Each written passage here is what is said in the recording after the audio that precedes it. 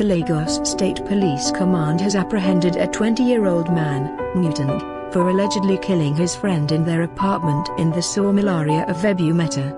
According to the police, the suspect strangled Emeka James during an argument over a cooking pot on March 22, 2014. But the suspect says he did not mean to kill his friend, but only strangled him in a bid to overpower him in a free fight. He said, James is the owner of the apartment, I only started living with him about a month before the incident. I sell fuel pump for a living at Motor and I did not have the money to secure an accommodation so James took me in.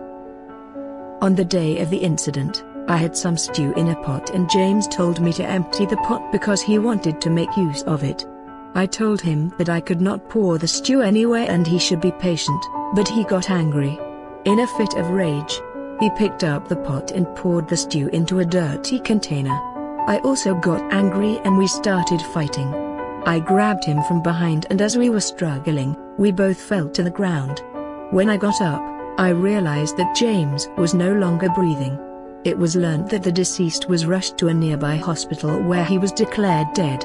Neighbors alerted policemen at the Denton police station after which the suspect was arrested and transferred to the homicide department of the SID. The landlord of the victim, who spoke to Punch Metro on the condition of anonymity, said he was surprised that the suspect was living with the deceased.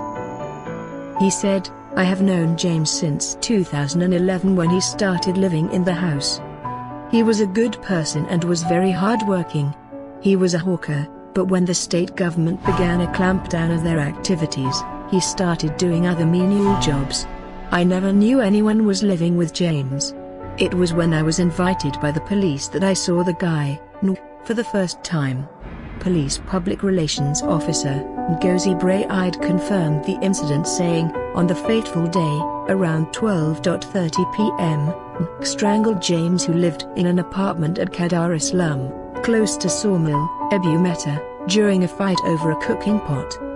The corpse has been deposited at the mainland hospital mortuary, Yaba, while the matter is under investigation at the State Criminal Investigation Department, Yaba.